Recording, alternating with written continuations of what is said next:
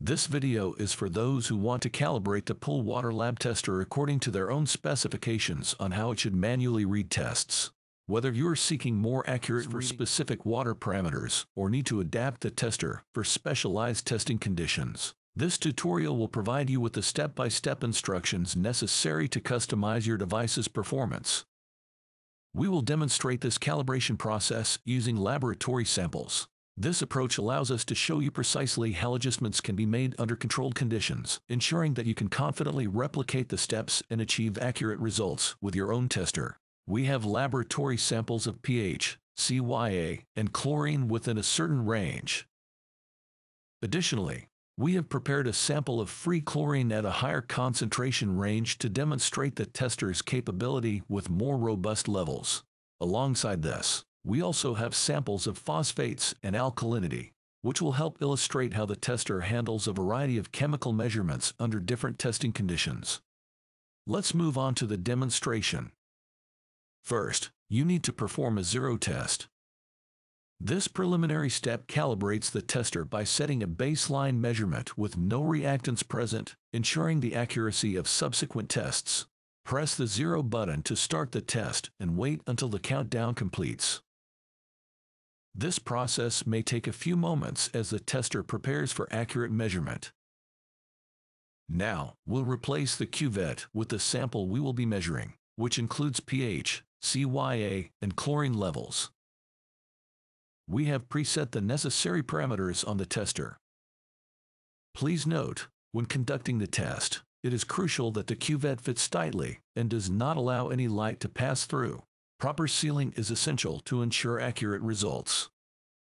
Start the test by pressing the T1, T2, and T3 buttons, and then confirm by pressing the OK button. Wait until the countdown finishes. This waiting period is necessary as the tester processes the sample, ensuring that the readings are stable and accurate. The test is complete. Let's compare the results. Thus, the pH value for the laboratory sample is 7,50, while the tester shows a value of 7,49. For CYA, the laboratory sample reads 48, whereas the tester displays 50. For chlorine, the laboratory sample measures 0,72, while the tester shows 0,78. We can adjust the pH readings by 0,01, but this is a very minor difference. In practical terms, making such a minute adjustment is often unnecessary, as it affects the last digit, which is typically the least significant in most practical applications. If you are going to adjust the readings, it's better to modify the first digit after the decimal point rather than the third. Typically, on the standard devices you have at home, you usually see only the first decimal place, not the second or third. Therefore, to now adjust the tester's calculations, we need to return to the previous menu by pressing the zero button. Using the down button, scroll down and select the settings icon. Press OK and you will see plus on the screen. Press OK again.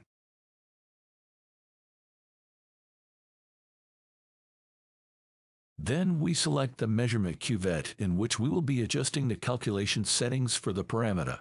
In this case, we select the first cuvette where we tested the pH. Press the 1 button. Select the pH parameter by using the up and down buttons. Press OK.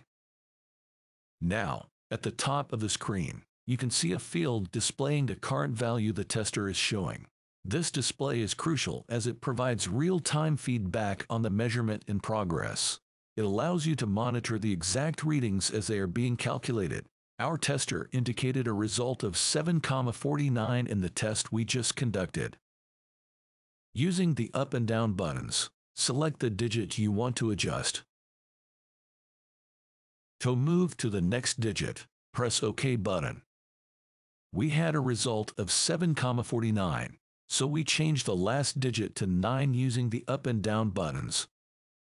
We have set the value to 7,49. Press OK button to confirm. In the lower field, we set the value we wish to see. In our case, the sample had a result of 7,50. Set your desired parameter. Press OK to confirm your selection. Select the floppy disk icon and press OK to save the result. So, we can now see that the value in the first measurement cuvette, T1, has been adjusted. Let's now select another parameter in the second cuvette for adjustment. Choose the parameter that you have previously tested in the same cuvette. Select the plus icon with the OK button to add the parameter. Press T2 button. In this cuvette, the parameter we measured was CYA. Using the up and down buttons, select the necessary parameter. The fact that we adjusted the pH value by 1 hundredth is a very minor change. The tester itself can display a margin of error of up to 200ths in either direction. Essentially, we've adjusted the pH value to align with the tester's operational tolerance or its permissible error margin. The acceptable operational tolerance of the tester is 10%. Therefore, let's select cyanuric acid. Press OK button. For the upper field, our CYA result was 50. We will leave this result unchanged. In the laboratory sample, the reading was 48. Let's change the result to 48. Press OK and then save. The first and second cuvettes have been adjusted to reflect the accurate values we aimed for. Press OK and continue. Next, press T3. In the third cuvette, we had chlorine. Select chlorine. Press OK button. In the upper field, input the value given by the tester, which is 0,78.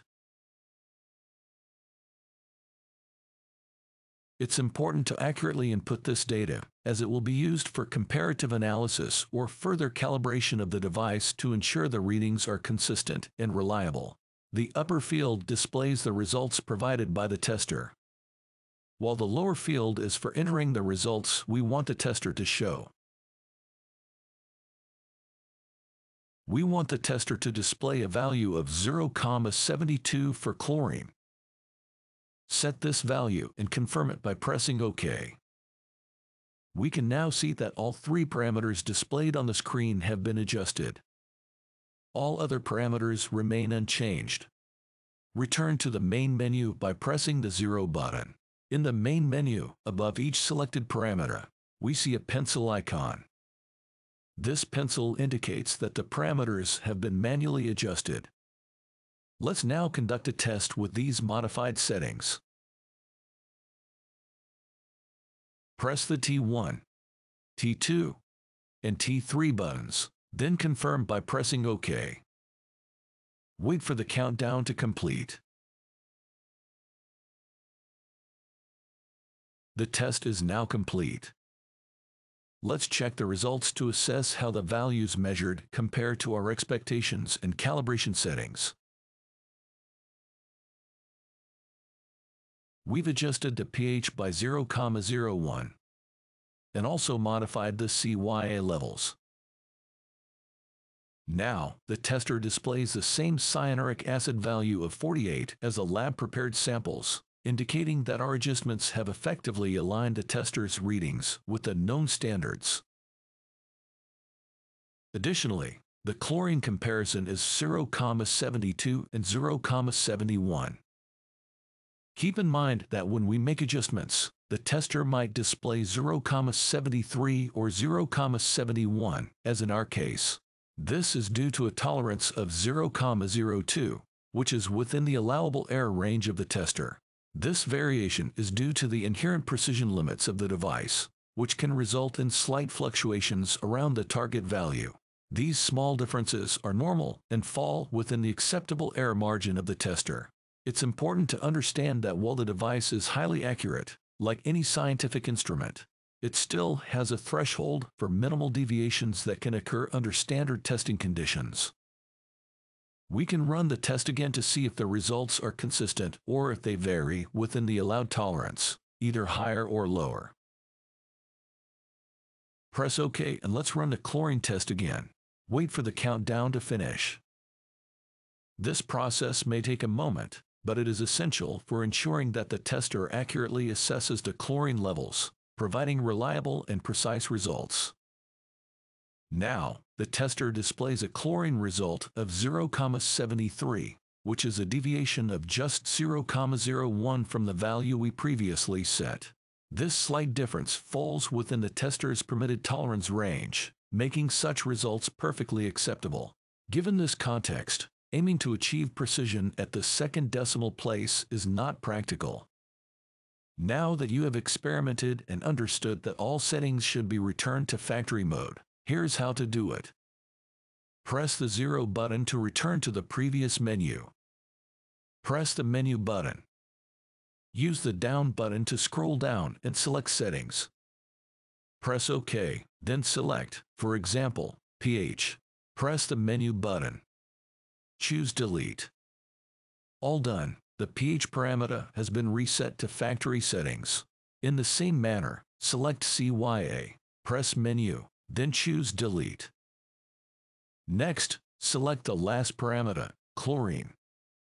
Press Menu and again choose Delete.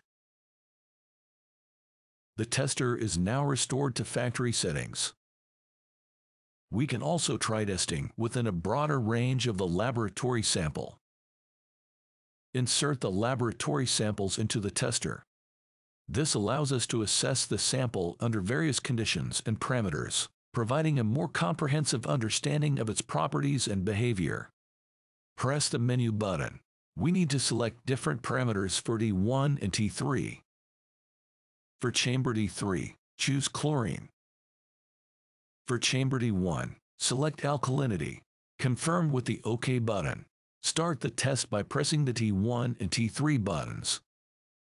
Press OK and wait for the countdown to complete.